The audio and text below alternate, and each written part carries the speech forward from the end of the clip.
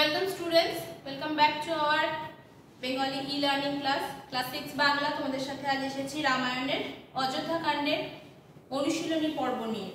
ইতিমধ্যে আমি তোমাদের অযোধ্যা কাণ্ড থেকে অনুশীলনী করিয়েছিলাম বলেছিলাম একদম বইয়ের শেষে যে কয়েকটা অনুশীলনী আছে, সেগুলো করতে বলেছিলাম মানে করিয়েছিলাম। এর থেকে কিছু ঠিক ভুল আমি এক্সট্রা কিছু অ্যাড করেছিলাম তোমাদের জন্য। আর করেছিলাম একটা ম্যাচিং করেছিলাম। উক্তি মেলাও বলে একটা ম্যাচিং দিয়েছিলাম, সেটা করেছিলাম। আজ আমরা করব প্রশ্ন উত্তর পর্ব, ঠিক আছে? এখানে তোমাদের মোটামুটি পাঁচটা প্রশ্ন আছে। প্রশ্নের উত্তরগুলো আমি বোর্ডে লিখে দেবো তোমাদের এবং যাতে তোমাদের বুঝতে কোনো রকম অসুবিধে না হয়। তো প্রশ্নোত্তর পর্বে চেষ্টা করব আমরা বানানগুলো সরি উত্তরগুলো পুরো বাক্যে লেখার। কারণ আমি বারবার বলেছি উত্তর যদি পুরো বাক্যে না লিখি, উত্তরের বিষয়বস্তু আমার কাছে পরিষ্কার হয় না। ঠিক আছে? এসো আজ আমরা শুরু করি দুয়ের ক প্রথম প্রশ্ন আছে রামকে বনবাসে যেতে হয়েছিল কেন আমরা পড়েছিলাম যে কৈকেয়ী রামকে দশরথকে পিতৃ সত্য করিয়েছিলেন। দশরথকে দিয়ে কিছু সত্য করিয়েছিলেন, অর্থাৎ প্রতিজ্ঞাবদ্ধ করিয়েছিলেন। এবং যে কারণে রামকে চোদ্দ বছরের জন্য বনবাসে যেতে হয়েছিল ও রাজ সিংহাসনের দাবি ভরতকে ছেড়ে দিয়ে যেতে হচ্ছিল তাহলে আমার উত্তর কি হবে? পিতৃ সত্য রক্ষার জন্য লেখো প্রত্যেক উত্তরগুলো।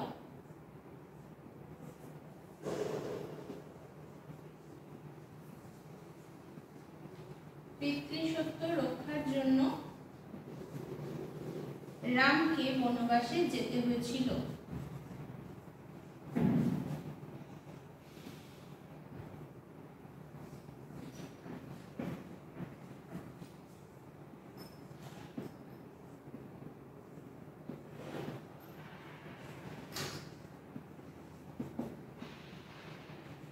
নেক্সট নাম্বার খ খ আছে দেখো। ক্ষয়ের প্রশ্ন, রাজা দশরথ কীভাবে প্রাণত্যাগ করেছিলেন? এখানে আমরা অযোধ্যা কাণ্ডের ঘটনায় আদি কাণ্ডের একটু সামান্য স্পর্শ পেয়েছিলাম। কীরকম?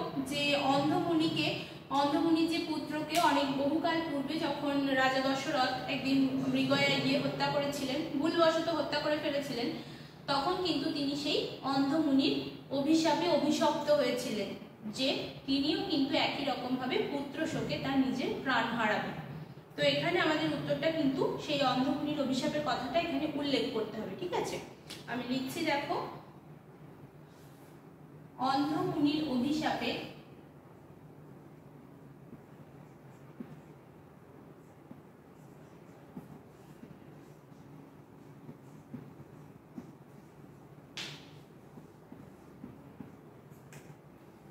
রাজা দশরথ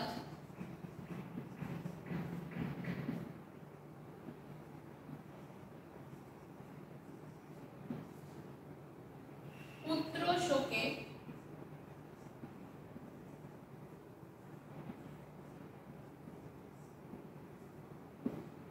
প্রাণ ত্যাগ করলেন ঠিক আছে এখানে আমার উত্তরটাও পরিষ্কার হলো আমি কি বোঝাতে চাইছি এবং ঘটনা কোনটা রিলেটেড আমার এর সাথে, সেটাও ক্লিয়ার হলো। নেক্সট নাম্বার গ ভরদ্বাজ মুনির আশ্রম কোথায় ছিল? আমরা পড়েছিলাম যে শৃঙ্গবের দেশ থেকে গুহক যখন রাম সীতা লক্ষণকে নৌকা করে নিয়ে গেলেন, সেখানে একটা বিশেষ জায়গার কথা উল্লেখ ছিল। কোন জায়গা? সেই জায়গাটা ছিল যেখানে যমুনা নদী গঙ্গায় এসে মিলিত হয়েছিল। সেখানে ছিল ভরদ্বাজ মুনির আশ্রম। তাহলে উত্তরটাও লিখব আমরা সেইভাবে। যমুনা নদী, যেখানে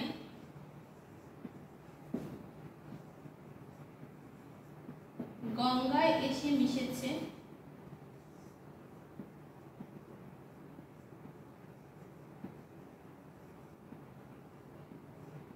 সেখানে ছিল ভরদ্বাজ মুনির আশ্রম।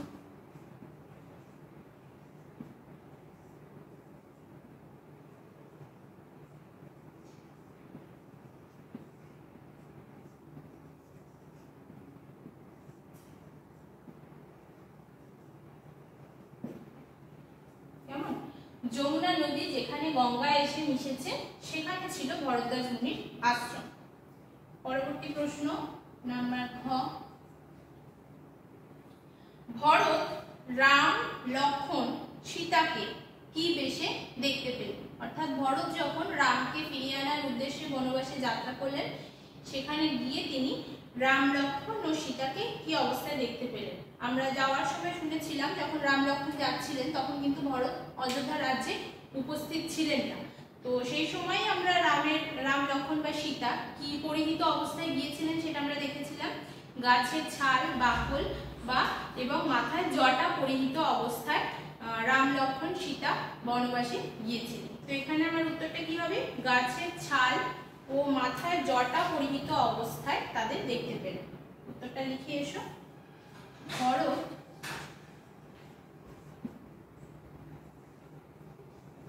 রাম লক্ষণ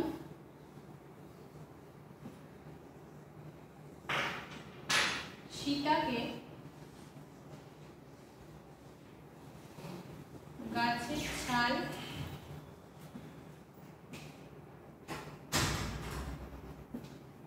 পরিহিত।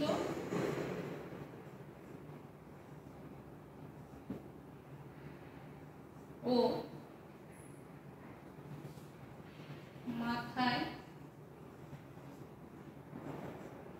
জটা। একটা হাইফেন দেবে।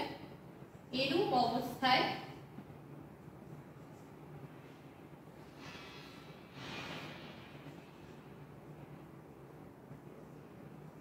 দেখতে পেলেন।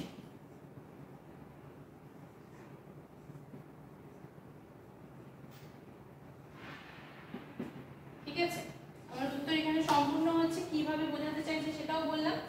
ভরত রাম লক্ষণ সীতাকে গাছের ছাল পরিহিত ও মাথায় জটা এরূপ অবস্থায় দেখতে পেলেন। আশা করি প্রত্যেকের লেখা সম্পূর্ণ হয়েছে। আমি আরেকবার বলে দিচ্ছি প্রশ্নের উত্তরগুলো তোমাদের সুবিধার জন্য। পিতৃসূত্র রক্ষার জন্য রামকে বনবাসে যেতে হয়েছিল। চারের কয় সরি দুইয়ের কয়ের উত্তর। ক্ষয়ের উত্তর, অন্ধমুনির অভিশাপে রাজা দশরথ পুত্র শোকে প্রাণ হারালেন। নাম্বার গ, যমুনা নদী যেখানে গঙ্গা এসে মিশেছে, সেখানে ছিল ভরদ্বাজ মুনির আশ্রম। নাম্বার ঘ, ভরত রাম লক্ষণ ও সীতাকে গাছের ছাল পরিহিত ও মাথায় জটা এরূপ অবস্থায় দেখতে পেলেন। আজ এই পর্যন্ত তোমরা বাড়িতে প্রশ্নের উত্তরগুলো ভালো করে অভ্যাস করো। পরবর্তী ক্লাসে আসছি তোমাদের। বাকি যে অযোধ্যা কাণ্ডের প্রশ্ন অংশ রয়েছে, সেই অংশ নিয়ে।